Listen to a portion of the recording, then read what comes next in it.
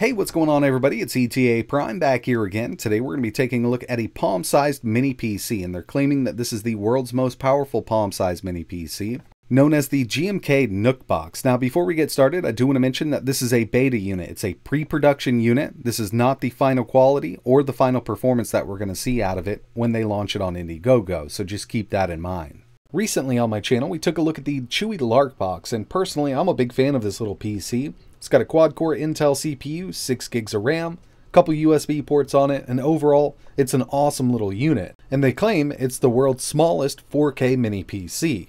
And I mentioned the Lark box because the GMK Nuc box is basically the same exact size. It's actually a little shorter and a little lighter, and they're claiming that this is the world's most powerful palm-sized mini PC. And taking a look at the specs on paper, it is a bit more powerful than the Chuwi Lark box, and we also have more RAM coming in at 8 gigs of LPDDR4 instead of 6 in the Lark box. But ever since Chuwi launched their campaign for the Lark box, I've seen a bunch of these super tiny mini PCs come to the market. But the one we're going to be taking a look at today is known as the GMK Nuc box. They're launching an Indiegogo for this. Base price is 159 and that'll get you 128 gigabytes of storage, and it goes on up from there. And another thing that I noticed about the GMK version is the power supply that comes with it. It's much smaller than the one that came with the Lark box. So overall, this will be a smaller package.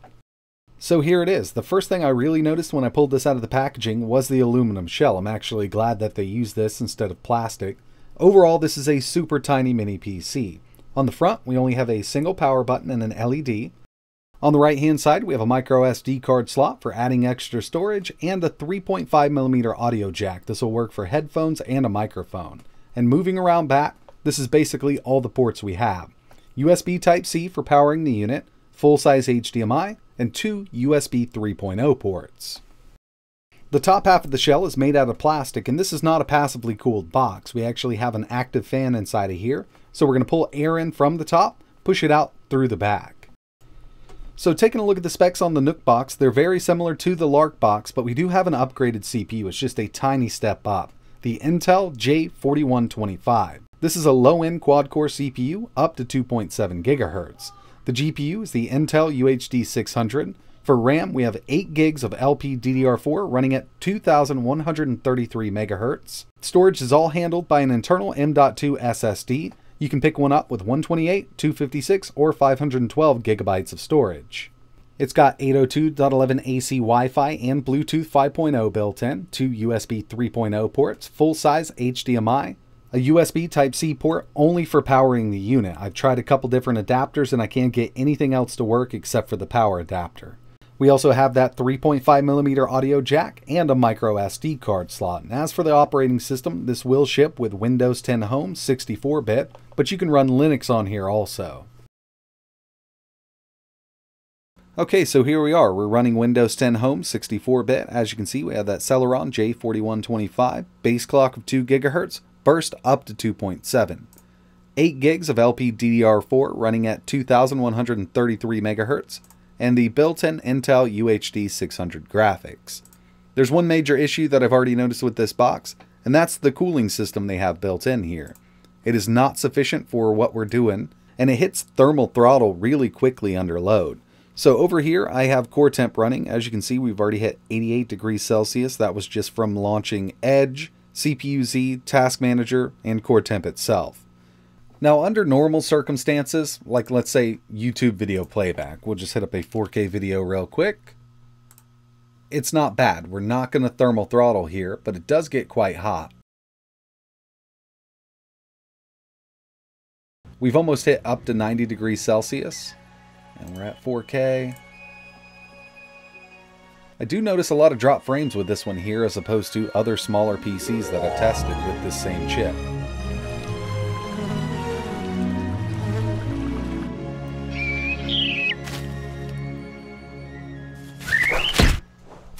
But with these drop frames, I mean, it's really hard to tell with the naked eye. If I have this off, you'll really never notice it. It'll do 4K video playback pretty decently. I've tested Netflix, YouTube right here. We'll go full screen with it. And Plex. So it will do 4K video streaming like it sits right now, and it does a pretty decent job. As for web browsing, it works great. I mean, like any other little mini PC would. Just head over to the Raspberry Pi website. Everything loads up nice and quickly. You want to check your email with something like this, it's going to work out just fine. Even with these temps that we're seeing here, they're not bad for a tiny PC like this. But when it really comes down to it and you want to do some intensive tasks like play a game, it really jumps on up there. So we're going to go with Minecraft. And I do have Afterburner running up in the top left hand corner. We have the GPU usage, CPU usage, RAM, FPS, and we also have the core clock on the CPU and the core clock on the GPU. This will jump up in just a second. We'll just go with creative. So as you might know, this isn't a super hard game to run, and we did hit 103 degrees Celsius. But uh, right now we're sitting around 95, and you'll see that CPU clock drop down. And that's the CPU trying to cool itself off. Down here, it's looking pretty decent, but when we get up, 100 degrees Celsius.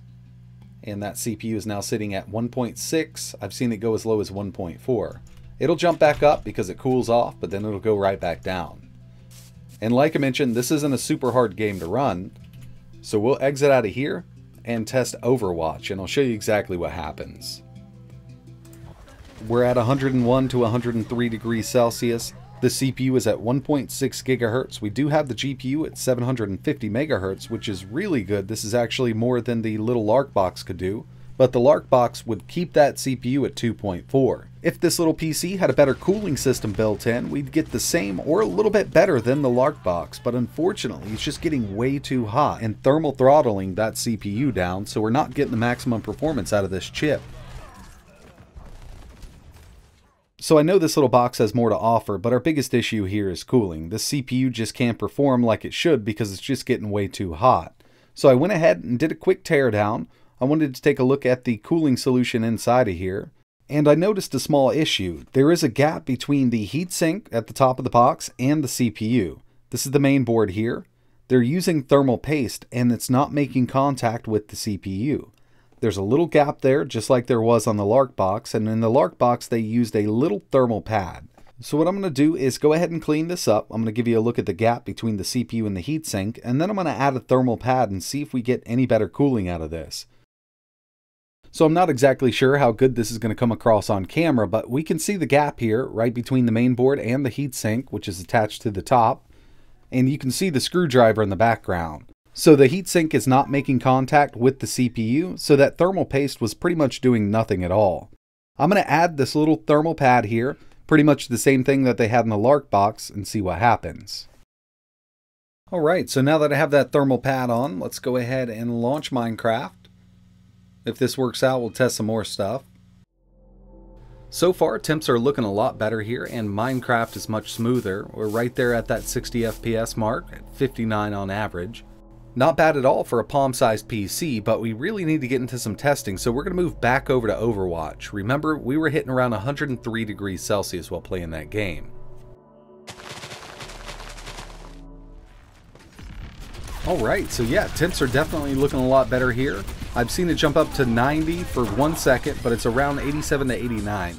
We're not thermal throttling the CPU, and as you can see, our GPU is at 700 megahertz, but our CPU is not clocked up as high as this thing should go, so we're running into another little issue here. I've tried tweaking some settings in the BIOS, but I just can't get it to jump up to that 2.6 to 2.7 gigahertz range while I'm playing a game like this.